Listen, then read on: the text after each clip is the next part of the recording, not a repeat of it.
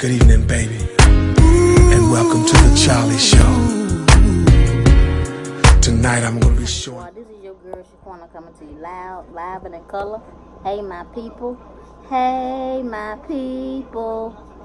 Today I am coming to you with the part two of my opinion about the B Love and Que drama. Because there's a lot that I did not say in my first video, but my second video, I got a lot I, I need to talk about. Uh, first of all, um, I did touch on this subject in my last video with Que calling Darius a queen. And y'all know I said that when you call a man this derogatory word, you insinuating that you know his sexuality. She don't know his sexuality, okay? That's number one. Number two, by calling him a queen and people knowing that this young man is beloved son, you don't know what homophobic, ignorant fool is gonna see him.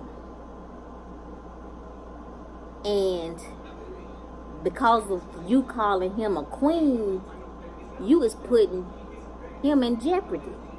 You putting him in jeopardy. You putting him in the line of fire. You putting him in the line of harm that is unneeded and is unwanted.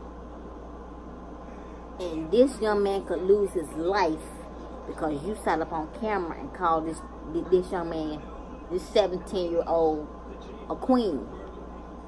Words like that incite violence, hate, bigotry, and you don't feel bad about it.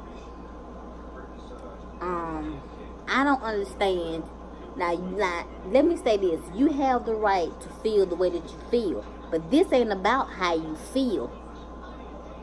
This is about the fact that she sat up on camera and she just told a bunch of lies. You put your sister in the middle of it and you did this and for what?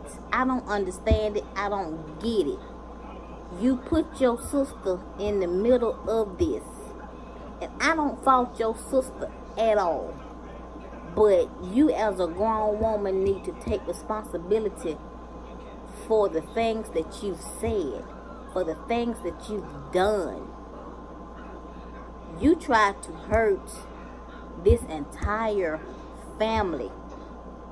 You sat up on camera and you and you and you tried to tarnish an image. You tried to tarnish a family you try to destroy a family. And like I said in my first video, you are making the black community look bad. You are making it look like black folks can't work together. You making it look like black folks can't play together, can't laugh together, can't do nothing together. And if you felt the way that you felt, you should have talk to beloved. You should have called her. Matter of fact, before you left, you should have talked to her.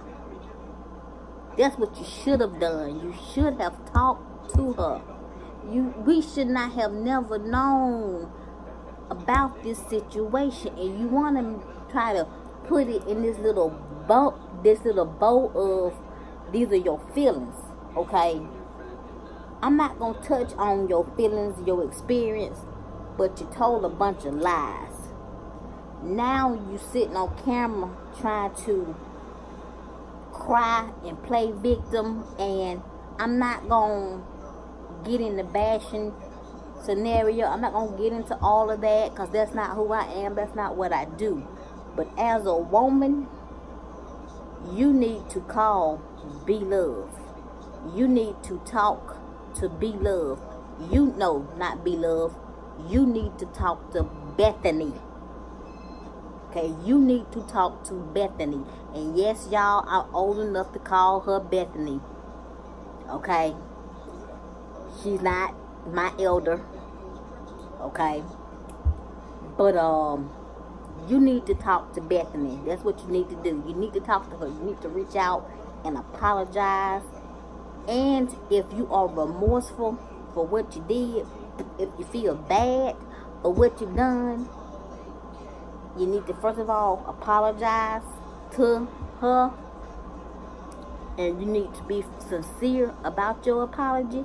Also, you need to take the take the videos down if you are so sincere about your apology, you need to take the videos down. Like, seriously. Because it is not cool that you sat there and you, did, and, and you did that. And yeah, you are losing subscribers by the minute. Um, and it's shameful that you did this on camera. This should have been left private we you, the YouTube community bump the mukbang community bump that. I Care less about the mukbang community right now. I'm just talking about the YouTube content creator community right now because this has put a stain on us. You made everybody look bad. It's, it's, this is just not right. If you feel bad, if you sincerely, down deep, feel bad, just apologize and take the videos down. Now, if you don't feel bad, keep them up and don't even reach out to them. But what you call Darius, you called what you call that man, that young man was wrong. What you said about him, it was wrong. Um, you put his life in jeopardy. You was wrong for that. These are just my opinion. This is just my opinion, how I feel, and my thoughts on this whole situation because it's messed up. People were dragged into the middle of it. Didn't make no sense it's, it's, it's just wrong. But, hey, I just hope this whole thing just dies down real soon. But if y'all, if you made it to the end of my video, put YouTube drama part 2 in the comment section. Give me those big thumbs up. Get this video to 800 likes, 800 views. Make sure you like, comment, subscribe to my channel. Hit the bell twice to be notified. If you're an old subscriber, make sure notifications are on. Share all my videos, like I always say. Have fun playing with your nails if you wear nails or if you're doing your own. Fun playing with your makeup if you wear makeup or you just learning how to use it. Y'all, please live life because God only gives you one. Bye.